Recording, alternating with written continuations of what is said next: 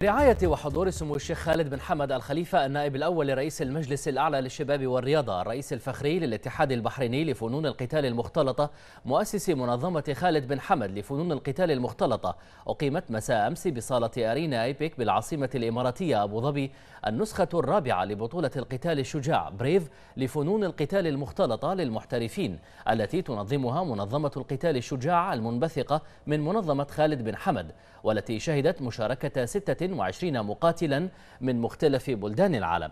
وحضر المنافسات عدد من المهتمين بالرياضات القتالية بدولة الإمارات العربية المتحدة وعدد من المدعوين وجماهير غفيرة من عشاق ومحبي رياضة فنون القتال المختلطة.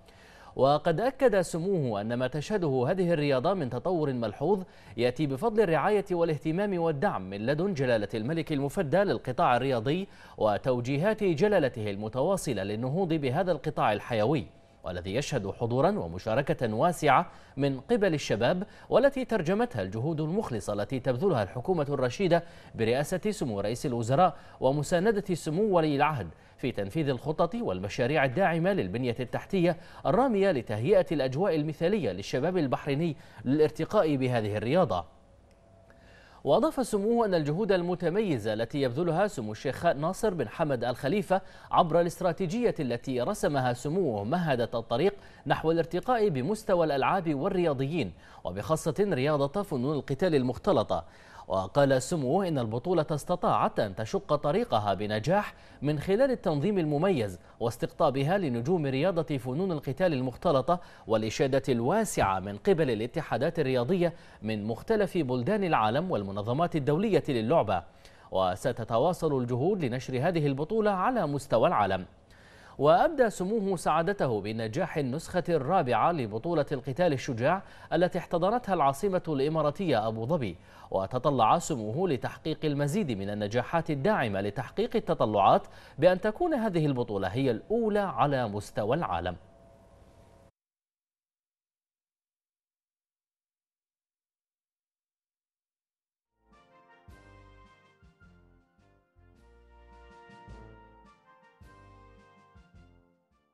In Abu Dhabi. Tonight, it's Brave 4 MMA. Are you ready? فكرة بدأت صغيرة ولكنها حققت أحلاما كبيرة وظهرت بصورة جديرة فالأهداف تحققت والثمار حصدت بعد أن تلونت وتزينت مدينة أبو ظبي التي احتضنت منافسات النسخة الرابعة من بطولة القتال الشجاع بألوان التألق والنجاح. I'm very happy from one side and I'm very أنا سعيد جدا من ناحية ومن ناحية أخرى مندهش بعد المستويات القوية التي قدموها المقاتلين.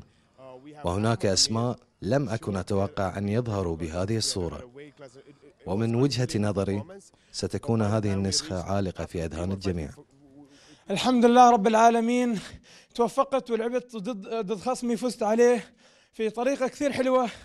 فالحمد لله بشكر رب العالمين على النتيجة اللي صارت. أنا جدا سعيد وبشكر كل الجمهور العالم والعربي أنا بطمح أكون بطل العالم البريف إن شاء الله. هم حرين متى يعطوني الفرصة؟ أنا إن شاء الله راح أكون مستعد بس آه هذا طموحي أن أكون بطل العالم إن شاء الله بإذن الله. طبعا فايت كان كثير قوي. اليوم إحنا بأبو ظبي آه بريف بطولة كثير كبيرة. الحمد لله تمكنا وفزنا على فريق من أفضل افريقيا الايرلنديه بالعالم. 26 مقاتل من 17 دولة من مختلف أنحاء العالم قدموا خلال منافسات البطولة عروضا مميزة ومستويات قتالية عالية أشعلت مدرجات الجماهير الحاضرة. كما شهدت البطولة ولادة أول بطل لوزن الريشة الذي توج به المقاتل الجزائري إلياس بوداغزدام الحمد لله كان كويس. ال fight كان قوي. كان بكل صراحة أنا أخذت آه، لائحة من الملاكمين لل opponent لعثمان وأنا اخترت أصعبهم. وكانت أول مرة لعثمان نازل إلى الوزن 70 كيلو وكان عنده خمس أيام هون في, في أبو ظبي. وكانت آه، حاجة جديدة. إحنا ما بنعرف كيف الجسم تاعه بيشتغل في الوزن 70 كيلو ولكن الحمد لله إحنا أخذنا أقوى واحد في, في اللائحة. هو عنده سبع وينس في في الاستمرار وما خسر وكان بطل العالم. وإحنا الحمد لله اخترنا أقوى واحد حتى عثمان يشوف القوة تاعه إن شاء الله. أول حاجة طبعا الفضل لله اولا وأخيرا.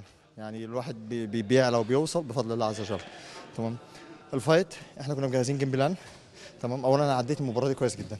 إحنا عارفين إن هو striker كويس وهيشتغل رجل هو عمل خطأ وأنا الحمد لله استغلته مستوى المقاتلين ب Brave عالي جدا. بعتقد اليوم كان في كتير fight ات حلوين. والحمد لله يعني المنظمة لسه بس أربع event ات وعم بتجيب مقاتلين زي هدول وبهذا المستوى.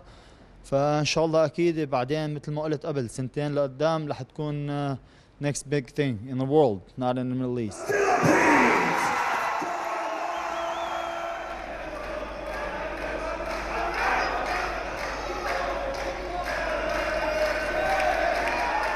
قصة جديدة عنوانها النجاح وختمتها التألق والتميز.